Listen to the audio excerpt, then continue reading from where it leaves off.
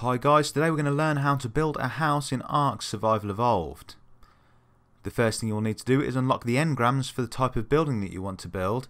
There are several different types including thatch wood and even the adobe builds which are exclusive to Scorched Earth.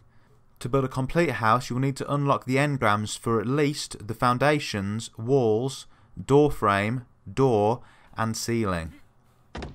Next, decide how big you want your house to be and craft the right amount of foundation pieces.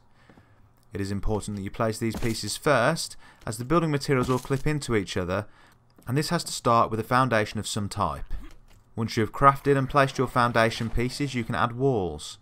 These will clip into place around the foundation but make sure you decide where your door frame is going as this is a separate piece. Next you can add your door frame in exactly the same way you did when you placed your wall pieces and a door can be added into the frame. The last thing you'll want to do is add a ceiling to your build.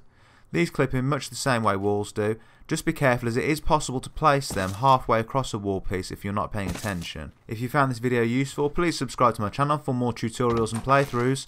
Thanks for watching. Peace.